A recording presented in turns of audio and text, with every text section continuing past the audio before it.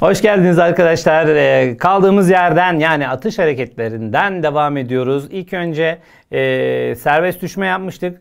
Daha sonra e, düşey atış yaptık. Ve şu an yatay atış ve ilk atışla devam edeceğiz.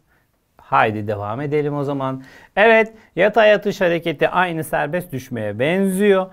Formülleri çok kolay yapıştırıp geçeceğim ama serbest düşmeyi bildikten sonra gerisi cidden Şam'da kayısı diyorum.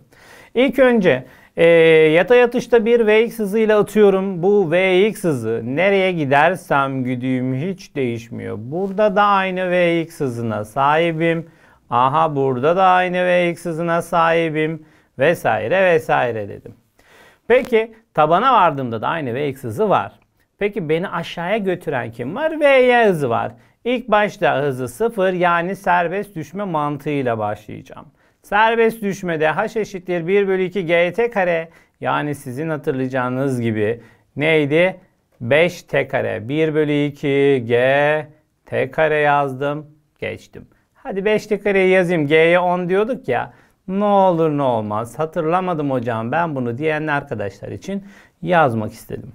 Devam ettim. Peki yere çarpma hızı diyeceğiz ama önce onun şuradaki y bileşenine bakacağız. Y bileşeni serbest düşme dediği, demiştik. O yüzden V'yi yazarken serbest düşme gibi G çarpı T yani göz formülü dedik. Yerine onu koydum 10 çarpı T deyip yapabiliyormuşum. Yere çarpma hızı X bileşeni ile Y bileşeninin bileşkesinden çıkıyor.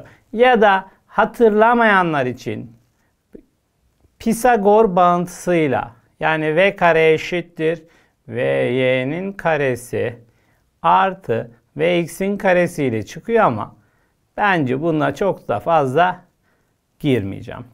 Evet devam. Peki buraya kadar tamam. Yere çarpma hızı için y bileşeni için zamansız hız denklemi yapabiliyorsunuz. Vy'nin karesi 2gh diye gayet de güzel yazabiliyormuşum. Bir de şuradaki menzil var. Beni oradaki menzilde kim hareket ettiriyor? Tabii ki yatay hız bileşeni hareket ettiriyor. O zaman Vx çarpı t deyip buradaki menzilde çok rahat bulabiliyormuşum diyeceğim. Hız zaman grafiği için hız zaman grafiklerinde bakın Vx'in altında kalan alan size menzili yani yatayda aldığı yolu Vy'nin altında kalan alansa maksimum yüksekliği ya da atıldığı yüksekliği verir diyecekmişim. Aynı serbest düşme gibi olduğu için birer saniye aralıklarla kontrol edersek bakın burada V0 hızı var. V0 hızı ne yaparsam yapayım hep aynıdır. Hep aynı, hep aynı. Buradaki V0 hep aynı. Peki bizi değiştiren ne var? Bizi değiştiren işte serbest düşme gibi ise 5, 15, 25 kuralıyla işte şuradaki hızlar. Birinci saniyede hızım ne yapar? Düşeydeki hızım 10 yapar. E, ikinci saniyede hızım ne yaptı? E, 20 yapar. Devam. 20. Sonraki hızım 30 dedim. Sonraki hızım 40. Bakın aynı serbest düşme sadece ve sıfırdan dolayı daha doğrusu x bileşenimden dolayı ne yapıyorum? Yatayda da yol almış oluyorum o kadar. E, yüksekliğe bakarsak serbest düşme gibi dediğim için 5, 15, 25, 35, 45 kuralı aynen var. Birer saniyelik aralıklarla incelediğim için burada aldığım yol 1 saniyede x kadarsa burada aldığım yol x kadar, burada x kadar, burada x kadar, burada x kadar şeklinde yazabiliyormuşum diyeceğim. Basit bir örnekle hemen devam etmek istiyorum. 45 metre yükseklikten atılan bir cisim yatayda 120 metre yol aldıktan sonra yere çarpıyor. Yere çarpma hızı nedir? Önce serbest düşmeyi hatırlarsanız ne diyeyim şuradan 45 olduğu için 5, 15, 25 derseniz 45 metre yani 3 saniyede yere düştüğünü söyleyebiliyormuşum. Madem 3 saniyede yere düşüyorsa o zaman düşey hız bileşenini g çarpı t'den yani vy'yi bulmuş oluyorum. G çarpı T'den G'si 10, T'si 3, 30 diye buldum. Ben şuraya tekrar yazıyorum 30 diye. Peki bunda sorun yok. Düşey bileşen tamam. Yatay bileşen nasıl? Yatay bileşeni de menzilden bulabilirim. Bakın menzil x eşittir vx çarpı t idi. Menzilim var 120. Vx'i bilmiyorum. Ama süreyi az önce buldum 3 diye. Buradan da Vx'im 40 çıkıyormuş. Yani buradan da ne yapar? 40 yapar. Vx'i hemen buraya çizdim. Aha şuradaki hız bileşenimdi 40'tı. E bize yere çarpma hızı diyorsa lütfen bunun bileşkesini alın. Aralarındaki açı 90 derece 30 40 50 yapar. Yere çarpma hızı hemen yapıştırdım geçtim. Neredeymiş? Çorum dedim. Geçiyorum. Evet sonraki soru x'ler y'ler var ama şuradaki 30'da 50 ne kadar da tatlı gözüküyor. Bakın yatayda 30 varsa kesinlikle yatay hız bileşeni 30'dur. Ay ne güzel. E 50'yi de görünce şuradaki hız bileşenine 40 demeden yapamıyorum. E 40 düşey hızı biliyorsam şuradaki sıfırı atarsınız. Süreyi bulmuş olursunuz 4 saniye diye. 4 saniye ise haş, haşım 5, 15, 25, 35 dedim. Toplarsanız ne yapıyor? 5, 15, 25'ten haşımı buldum. 80 dedim. E hocam menzili bulmuyorum. Menzil de bulurum. Neydi? V0 yani Vx çarpı T. E şusunu biliyorum. 30 süreyi biliyorum. T x eşittir. 120 metredir. Bu da bu kadar kolaymış dedim ve geçtim. Benzer bir soru tarzı yine H'ı soruyor. Ay o kadar basit ki anlatamam. Şuradaki menzilini biliyor muyum? Menzil. Menzil buydu. X dedik. Ve X çarpı T. E, menzilim 30 metre. Vx'im biliyorum 10. O zaman süreyi biliyorum 3 saniye. Ay bu o zaman bitti. 3 saniyede ne yaparım? 5, 15, 25'ten toparlarsanız 45 diye haşı yapıştırırım. 5, 15, 25'e toplarsanız 45 diye buluyormuşum. Bu kadar kolay. Evet sıradaki soru haşlar var yine. Burada süre bulabilir miyim? Bulurum valla. Bakın L 4 haştan bırakılıyorsa ne demiştik serbest düşmede? Haşın karekökü süreyi verir. 4 haştan bırakılan karekökü yani 2t süresi vardır dedik. Devam. 9 haştan bırakılan karekökü o zaman süresi 3t'dir dedik. Bundan sonrası artık oran buran şuran yapmak. V1 ne kadar yol gitmiş menzil olarak? 3x, x 4x. 4x gitmiş. E hızı ne? V1. Süresi ne? 3t. Aynı mantık ne yapacağım? L'ye bakacağım. Gittiği yol yol değil onun ama 3x kadar yol gitmiş. Sonra demiş V2 hızım var demiş. Süresi de 2t mi demiş. Hmm. Bundan sonra oran buran dedik. Ay hemen sadeleştiriyorum. X'ler gidiyor. T'ler gidiyor. Şu 2'yi karşıya şu 3'ü aşağıya içler dışlar çarpımı cevap 8 bölü 9 diye çıkıyormuş. V1 bölü V2 oranı. Evet en sık karşılaşılan ve zor olduğu düşünülen sorulardan birisi. Ama bu tarz sorularda hatta bazen e, nedir onun adı eğik düzlem üzerinden atılan cisimler var. Kural hep aynı. Yapacağınız şey h eşittir 5t kare formülü. Bir bunu yazacaksınız. Bir de menzili x eşittir v 0 çarpı t diye yazacaksınız. Bunları yazdıktan sonrası kolay. Önce h için bakıyorum. Ben bir merdiven basamağı indiğimde aldığım yol 0.25. Ama kaç basamak indiğini bilmiyorum. O yüzden n basamak inerse h yerine 0.25 çarpı n yazarım. Evet onu da neye eşitleyeceğim? 5t kareye eşitleyeceğim. İşte birincisini yazdım. Şimdi ikinciyi yapıyorum. Yatayda ne kadar yol gidiyor? Eğer bir basamak inseydim 0,2. Ama kaç basamak gidiyorum bilmiyorum. N basamak indim dedim. O yüzden çarpı n yazdım x yerine. Ve sıfır hızını biliyor muyum? Biliyorum. 4. Süresi de t. Bakın ikincisini de yazdım. Bundan sonra oranlarsanız eğer t kare t gitti. n'ler gitsin. Ee, 25 ile 0,2, 0,25 ile bunu sadeleştirirsem burada 5, burada 4 olur. 5'ler 5'i, 4'ler 4'ü, t eşittir 1 diye sonuç buldum. Sonrasını yaparken herhangi birini kullanmanız yeter. 0,2 çarpı n eşittir 4 çarpı 1 0,2'ye bölerseniz 40 bölü 2'den 20. basamağa düşer diyeceğim. Denizli deyip geçeceğim. Soru tarzı ne kadar zor bile gözükse sadece şu iki formül bana her şeyi bitiriyor. Ee, yapacak da bir şey kalmıyor zaten. Ve bunun arkasından eğik atış diyeceğim.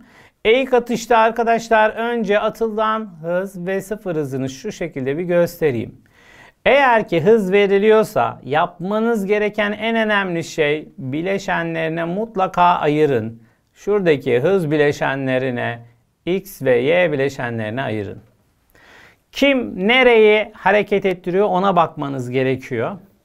Beni düşeyde yani yukarı ve aşağıda hareket ettiren hız bileşeni V0 y'dir. O zaman e, h'ı V0 y çarpı t eksi 1 bölü 2 gt kare formülüyle yapabileceğim gibi h eşittir 1 bölü 2 gt kare yani aşağıya düşerken serbest düşme yapıyormuş gibi de ne yapıyorum yazabiliyorum. Daha sonra yukarıya t sürede çıkıyorsa aşağıya da t sürede iner. Bunu da unutmayacağım. Ve yukarıdan itibaren yine 5, 15, 25 kuralını aynen uygulayabiliyorum. Bunun dışında V0 x bileşeni hiç değişmez. Ama V0 y bileşeni serbest düşmedeki gibi göz formülüyle ne yaparsınız? Yazabilirsiniz. Yine e, menzil kısmına geldiğinizde menzil x eşittir. Ne yapıyordum ben? V0 x hızıyla gidiyor ama uçuş hızı lazım. Uçuş hızı dediğimiz t kadar sürede çıktı, t kadar sürede indiği için 2t yazılır. Ve menzilini de bu şekilde bulabiliyormuşsunuz. Burada eğer ki şöyle bir soruyla karşılaşırsanız hızla ivmenin birbirine dik olduğu yer neresidir derse tepe noktasıdır dersiniz. Bakın hız ve ivmenin birbirine dik olduğu ivme dediğimiz şey burada yer çekimi ivmesidir. Birbirine dik olduğu yer tepe noktasıdır. Kinetik enerjinin minimum olduğu yer yine tepe noktasıdır. Kinetik enerjinin minimum olduğu yerdir. Ben bazen kandırmak için bu cismin kinetik enerjisi nerede sıfırdır diyorum. Hemen arkadaşım şuradaki V0 x'i unutuyor. Bana da bana da diyor ki hocam tepe noktasında minimumdur. Şey sıfırdır. Kinetik enerji hiçbir zaman sıfır olmuyor burada. Haberin olsun dostum. Dedim. Hadi devam ettim. Evet evet evet eğik atışın güzel tarafı bakın açılar verildi mi? 37 mi veriliyor 53 mi veriliyor vay vay vay. Daha önceki videoları hatırlıyorsanız arkadaşım bak 37 derece var 53 e, var. 37'yi 53'ü gördük mü ne yapıyorduk? 37'nin olduğu taraf 4'ün katı. 53'ün olduğu taraf 3'ün katı. Şu 100 de 5'in katıdır. Yani bu 3, 4, 5 üçgenidir. Bileşenlerini ayırırsanız o zaman burası 80. Aha tepesi de o zaman ne yapar? 60 olur. Şunun 100 olduğu için. Uçuş süresi bulunurken dikkat edeceğiniz şey şuydu. Te, şuradaki hız bileşeninde 0 atıyorsun. 6 saniye yukarıda, 6 saniye aşağıda. Toplam uçuş süresi 12 saniyedir dedim. Çıkabileceğim maksimum yükseklik dedik ya tepeden başlama koşuluyla 5, 15, 25 kuralını kullanırsın. Bakın ben yazayım şuraya 6 saniye olduğu için 6 tane yazacağım. 1, 2, 3, 4, 45, 55 bakalım 3, 6 oldu. Şuradaki sayıları topladığınızda 180 metre diye maksimum yüksekliği bulursunuz. 7. saniyede yerden yüksekliği derse 6. saniyede zaten tepe noktasındadır. 7. saniyede ne yapar? 1 iner. Yani şu kadar tepeden başlamak üzere 5-15 kullanıyorsan 5 metre aşağıya iner. 180'den 180'den 5 çıkarırsanız o zaman cevabı 175 diye bulurmuşum. Bu da bana D şıkkını verdi. Ve son kısmı özellikle menzili sonraya bıraktım. Menzil için bir formül görüyorsunuz. Neydi? Yatay hızına bakacaktım. 80. Toplam sürem 12. 80 çarpı 12'den 960 metre diye de menzilini bulurmuşum dedim. Geçtim. Yine aynı tarz soru 37 gördüm mü ne kadar seviniyorum anlatamam. Çünkü şu tepedeki 40 sa yatay hızının 40 olduğunu söylüyor. Şuraya 40'ı yapıştırdım. 37'nin olduğu yer 40 sa diğeri %100 30'dur. 30 40 o zaman V0 hızı da 50 yapar. Şu bileşeni 30 şu bileşeni 40 o zaman sonuç 50 yapıyormuş şöyle. Şurayı hemen ve sıfıra 50 diye yazıyorum.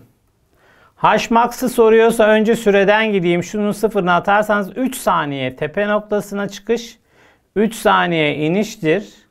O zaman uçuş süresi 6 saniye yapar. Hmax'ı da 5, 15, 25 yazıp 5, 15, 25 ne yapıyor? 45 metre diye bulursunuz. Ve menzil uzaklığı. Menzilde 40 ile gidiyordum. 6 saniye toplam süre 240 metrede menzili çıkıyor diyeceğim ve geçeceğim. Şimdi eğik düzlemde özellikle e, özel durumlar var dikkat etmeniz gereken. Bunlardan birincisi eğer ki maksimum menzille atmak istiyorsanız, menzilinizin maksimum olmasını istiyorsanız 45 derecelik açıyla atmak zorundasınız. Bana başka artısı ne dersen, aha yüksekliğim h kadarsa menzili kesinlikle bunun 4 katıdır. 4h kadardır. Bu sanki geometride 15, 75, 90 üçgenine benziyor. H'a 4h durumu vardır dedim. Evet geldik. Eğer ki ilk atışı, atış yapıyorsan aynı hızda ve açılar birbirini 90'a tamamlayacak şekilde atış hareketi yapıyorsan kesinlikle her iki atışın da menzili yani yatayda aldığı yolları aynıdır dersin. Dikkat etmeye gerek var. Bir de e, silahla atış yapıyorsan, silahla atış yaptığımda e, hedef aldığım noktadan e, cismin düşüşüne bakarsın. Eğer tam tepe noktasına geliyorsa bu tepe noktasına olan uzaklığı h kadarsa maksimum yüksekliği de kesinlikle h kadardır. Hedef aldığı nokta önemli dedim. Yine hedef aldığım yer tam attığım cismin düştüğü yerin dibine geliyorsa. Bayağı kelime biraz şey oldu. Ee, ama aynen söylediğim gibi sayın arkadaşım. Hedef aldığım yer K noktası. Cisme attığımda K'nın tam dibine düşüyorsa. Kelime tam. E ben hocam buradan h kadarsa menzilim bunun dörtte biri kadardır. Yine 15, 75, 90 üçgenine benziyor diyeceğim. Dikkat edecekmişim. Bunların soruları da karşıma gelecek. Yine özel durum ay en sevdiklerimden aynı yükseklikten aynı hızlarla ama farklı şekillerde atılan cisimlerin yere çarpma hızları kesinlikle eşittir. Tekrar ediyorum aynı yükseklikten aynı hızla farklı şekilde atılan cisimlerin yere çarpma hızları eşittir dedim ve devam ediyorum. En son özel durumum buydu. Evet geldim. Hadi bir iki tane de soru yapalım. Artık eğik atışı da tamamen kapatalım. O noktasından demiş ve sıfır hızla atılan cisim. K noktasına nişan alınmış ama L noktasına düşmüş. KL 80 ise demiş. E burası 80 ise kuralım neydi? Şuranın dörtte biri olduğuydu. Yani 20 yapar. Tamam. Ben bu atışı şöyle bir daha çizeceğim. Biraz büyük çizeceğim ama affınıza sığınarak çünkü görmüyorum artık yaşlılık mı diyeyim ne diyeyim. Yok canım. Yoksa genç kayım ben. Evet devam ediyorum. Yüksekliğine baktım. Sadece şuradaki kısmı çizdim. Neymiş şurası? 20. 20 yemez mi bilmiyoruz ama maksimum yüksekliğini yazıyorum şuraya. Daha sonra 5 15 derseniz a yukarıya 2 saniyede çıktığını gördüm. Yukarıya 2 saniye ise aha şuradaki hızını da bilir miyim? Vallahi bilirim. Ne yapar? 20 yapar. Neden? G çarpı T. Bak kekelediğim yer burası. G göze gelme formülü vardı ya G10. T'de 2 olunca 20. Aa şurası 53'müş. Yok canım burada 37 mi? Vallahi öyle. E, 37 53 üçgeninde 37'nin olduğu yer 4'ün katıysa 53'ün olduğu yer 3'ün katı değil miydi? Bu 4'ün 5 katı. Bu da 3'ün 5 katıdır. Aa ben Pisagor biliyorum hocam. 15, 20 ve 0 hızının da 25 olduğunu söyleyebilirmişim. Benden ne istiyordu bu amcam? Ay ve 0 hızı nedir diye soruyor. İşte C, C, C, C. Devam. C. Evet, KL cisimleri. Bakın bu da güzel bir soru. Soru tarzı güzel aslında. Ee, ek atış verilmiş ama hızları vektör şeklinde vermiş. Havada kalma süreleri diye soruyorsa lütfen nereye bakacağım? Nereye bakıyor bu adamlar? Bakalım nereye bakacağım? Bak. K'nınkinin dikine baktım 3 birim. K'nınkinin dikisi 3 birim. Peki L'ninkini de yeşille yapayım. Onun dikine kadar dik bileşeni. O da 2 birim. Arkadaşlar buradaki dik bileşenler süreleri verir. O yüzden birinci kısım doğrudur. Süreler oranı 3 bölü 2'ymiş. Yükseklikler oranı soruluyorsa e, daha önce demiştik ki h t kare ile orantılıdır. O zaman zamanın karesini alıyormuşum. H'lar oranı o zaman 3 bölü 2 e, süreler oranı ise h'lar oranı da 9 bölü 4 olmalıydı. Öyle mi? Değil. Sildim. Ve en son menziller. Arkadaşım menzili alırken dikkat et. Menzilde yatay bileşeniyle hızın yatay bileşeniyle düşey bileşeni çarpımıdır menzili benim için.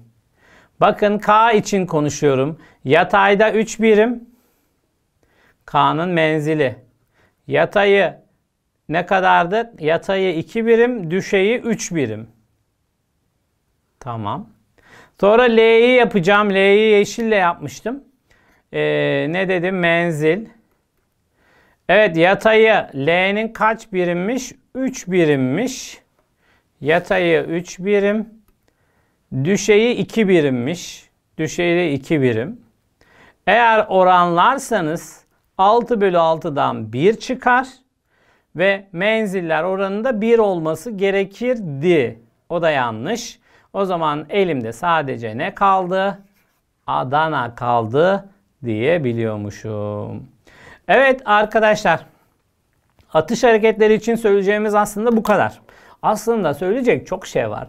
Bir sürü soru tarzı var ama karşınıza en azından temel olarak gelecek soru tarzlarını vermeye çalıştım. Ee, dikkat etmeniz gereken bakın e, hangi yönde hareket ediyorsanız onun hız bileşenini mutlaka yazın ve o hız bileşenine göre hareket edin. Ee, temel olarak söyleyeceğim şey serbest düşme. Serbest düşmeyi bilirseniz 5-15-25 kuralını bilirseniz soruların birçoğunu yapma şansınız kalıyor. İster eğik düz eğik atış, ister yatay atış, hangi atış olursa olsun temel olarak serbest düşmeyi bilmeniz gerekiyormuş dedim. Evet, bir dahaki derste görüşmek üzere. Fizikle kalın, benle kalın. Hoşça kalın.